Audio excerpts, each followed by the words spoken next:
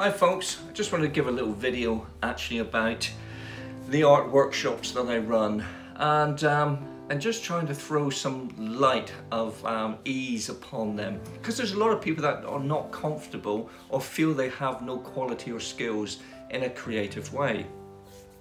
So I kind of like, um, uh, yeah, I, I, guess in a way I just wanted to talk about it because it's such a rewarding thing to do. It's a, it, a, an art workshop is not just a great therapy in itself, it's part of discovering who you are and what you are.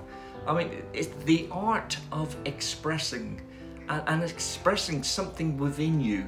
You're, you're finding something that is that has meaning and reason and more of the way in which you work that you've not worked in a way before even though you know people that come for the workshop can already dabble there are those that have that are already doing some paintings or drawings um, but there's also those people that have not touched a crayon or a pencil or a paintbrush since primary school, and that could be 30, 40, 50 years, um, sometimes even longer.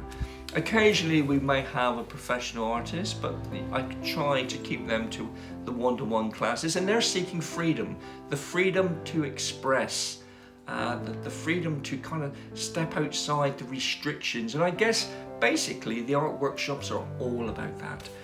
Um, you know, the materials that we use, generally speaking, the workshops are with acrylic paint on a board. And we're all using the same stuff. We're using the same board, we're using the same brushes. And, you know, and it's a little bit like a guided meditation. Uh, because we need to keep it kind of similarness between all of us, even though there are workshops where they're very individual pictures.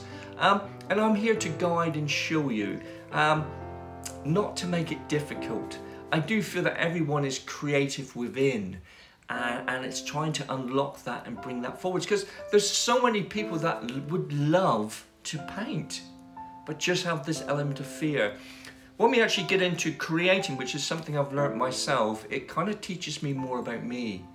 Uh, and not just teaches me more about me, it teaches me about how I deal with life and situations because you're taking a feeling or a thought from within and you're bringing it out. It's not like we're copying something.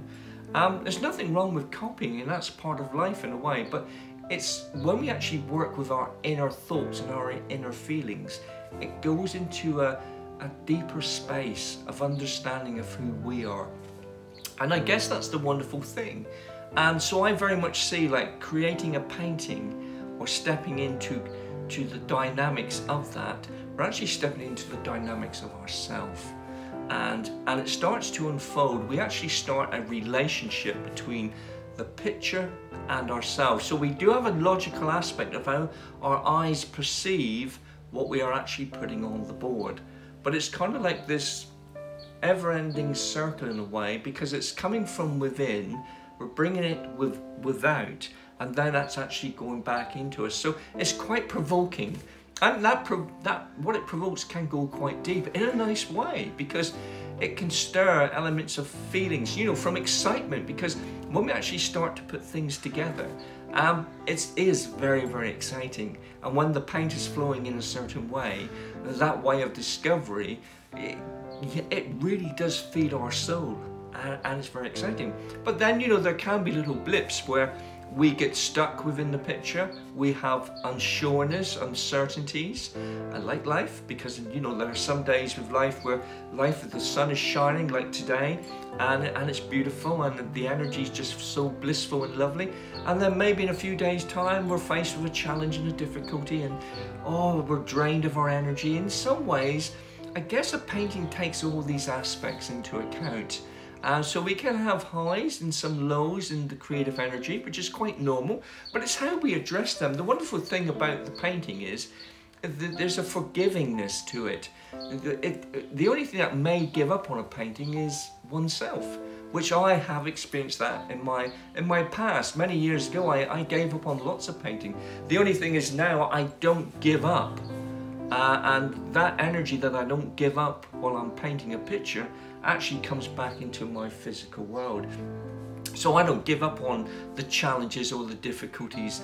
I don't run away from them. I address them and work through them because you know we can wait for life to change it or we can create the change ourselves or to quicken the change regarding certain situations so it's quite a it's quite a lovely and it's quite a beautiful thing. It's it's a revealing thing because not just for between the individuals within the workshop but from yourself to the picture and back into this this it's a very it's a very odd thing to actually talk about really because it is a relationship.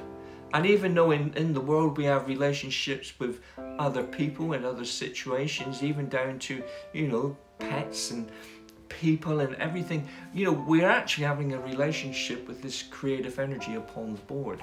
But it's a mirroring of ourself. It's a mirroring of our feelings, our thoughts, a part of our character, part of how we deal with life and situations.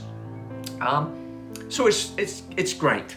It's absolutely um, it's an empowering thing to do and and it just gives me the buzz. When we get into colour, the dynamics of colour, um, which there is a, a scientific element or study to colour and its effects on people, but we have that within in, in the, the art workshop itself. But it's the dynamics that I'm most interested in is from you upon the board and back at yourself how you perceive a feeling and you translate that into colour. How you perceive a form or shape and you translate that upon the board. And that element, I guess, with the vision, you know, we're working with feelings. We don't always have the, it's, it's not something that we're, we are copying. It's not something that we can scale with a ruler and actually transfer onto the board. We're actually taking it within. A lot of vision work, actually, when we get into the vision work, really in a way, it can be not exactly to the physical world. There's, there's a distortion within those elements. And that's quite a natural thing to do. It's, it's a bit like the, a dream. When we have a dream, it's kind of like it's, it's how the dream is stitched together. And, and it's not always related to a, to a normal flow within a, the world we know. It, there's somewhat difference. So it's kind of like it throws up all these aspects. Um, as I said, I'm here to guide and to show you and and I take the colours myself and apply them to the board either with a sponge or a cloth or uh, the brush itself and, and we work through these things, we overcome these things and the element of it. And you know, the plan is at the end of the two days, because it's all art workshops now are two days long. Um, the first day basically is about putting a layer down onto that board. Um, possibly going a bit further. And then the second day is about bringing out more of that detail more of that color I, I kind of say that there are three layers to any painting. Uh, it goes from 1D, 2D and 3D so I just wanted to share a little bit of my excitement on how working with the creative energy and creating a painting has an effect on me. It teaches me to overcome, it teaches me not to give up. It takes me outside my comfort zone. Every time it takes me outside my comfort zone. And this is what I find, you know, for us to discover in the world, we have to be brave, we have to be courageous. You know, to discover even more, we have to do things we don't normally do. And that is very much related to the creative energies, coming outside that comfort zone in a form of discovery. There are no mistakes. We learn. Everything in the creative world is about learning and observation and bringing that into play. And even observation, when we're actually painting, I do really feel it gives us more observation within the physical world as well how we perceive because perception is a very interesting one and most times you know life is very busy a lot of times we just don't have the time to sit and observe. But I guess when we actually start to work in a workshop of a painting, that observation comes into play. And that observation is not just about the painting, but it's about our own thoughts and our feelings. So I just wanted to share that with you. And um, I find it all very exciting. Colour actually makes my mouth water. And uh, so yeah, so I look forward to seeing old faces upon the workshops that are starting to begin now and fall into place and new faces.